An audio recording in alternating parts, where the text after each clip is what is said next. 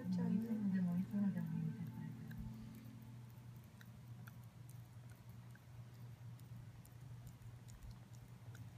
本の風土を知り尽くした庭作りで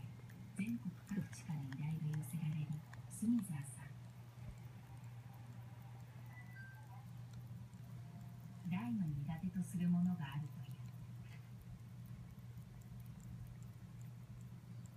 飛行機だったら多分自衛と変な力が入る少しでも揺れるとまた東を変えて現場がどれだけ遠くても移動は電車。田舎の風景を眺めながらのんびり向かう。最初にね日本に来た時に文化の植物の方だったけどもうそれからずっとねそのこのところの斜面に入ってそれイギリスだとみんなわざわざお金払って植えるもの。